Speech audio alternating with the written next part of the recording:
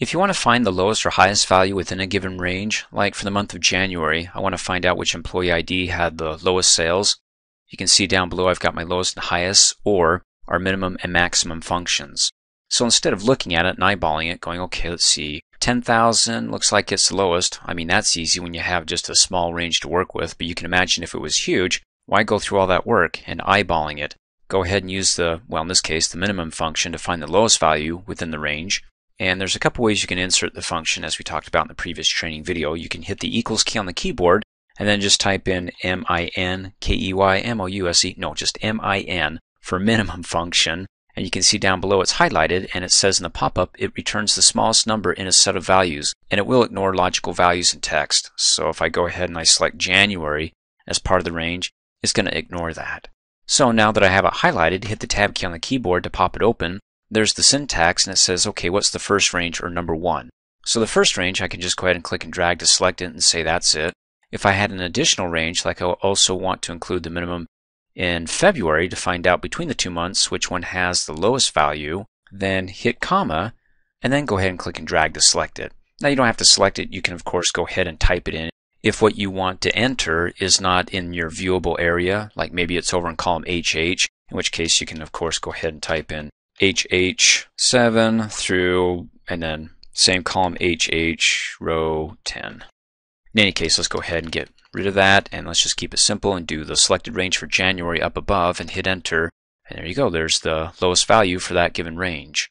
The other way that you can do it, and let's do it for the maximum now to find the highest value within that range, which is going to be 35,000, is instead of typing in the equals key, you can come up here on the formula bar and click on FX, opens up the insert function window, or you can close out and come up here on the formulas tab, click on the same button that we just clicked on, that was down below in the formula bar, or you can go ahead and click on one of the drop down arrows to find the minimum maximum functions. But let's just go ahead and do it right here since it's so obvious that no matter what tab we're on, that we don't have to click on the formulas tab to access it. So click on it and the reason why you may want to do it this way is because if you don't know anything about the function or you want to learn more about it, it's got it right here. That is, once you find it, and so there's the minimum because it was the most recent. Now we want to find the maximum. Well, it's right there. Another recent one that we've used, or just go ahead and delete that and type in max, click go. It's right there. Maximum returns the largest value in a set of values. It ignores logical values and text. Great, go ahead and click okie dokie. Opens up the function arguments window and it says, well, right now it's looking at cell C15. Why? Because it's looking at cells that are adjacent to it that contain numbers to try to help you out, thinking, okay, that's probably the start of where you want to look. No, it's up here. So you can either go ahead and come in the number one, delete it, and then type in your range, and it's going to be C7 through, which is colon, and then C10, and then you can see over to the right, it gives you the data within that range. There's C7, there's C8, C9, C10, and that matches up. Great.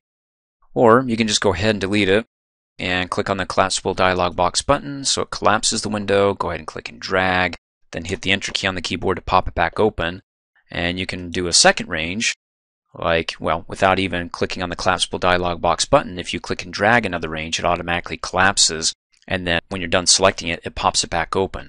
Now you may think, hey, I want to do it that way. That's great if you can see the data, but if you can't, then you may want to collapse it so you can see what's behind it because you only got so much space to move this thing around when it's expanded.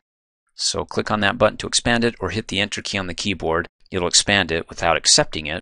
So once it's open, then you can go ahead and accept it by hitting the enter key on the keyboard, which by the way, you see how OK is highlighted in blue there? That means that that button's active. So when you hit enter on the keyboard, it's going to activate the highlighted button, meaning the same thing as if you just clicked on OK. So if I hit enter, which I won't do that because I don't want that one, and I hit enter now, it accepts it and let's see by double clicking on it. It's got the range up above highlighted in blue and the highest in there is 35,000.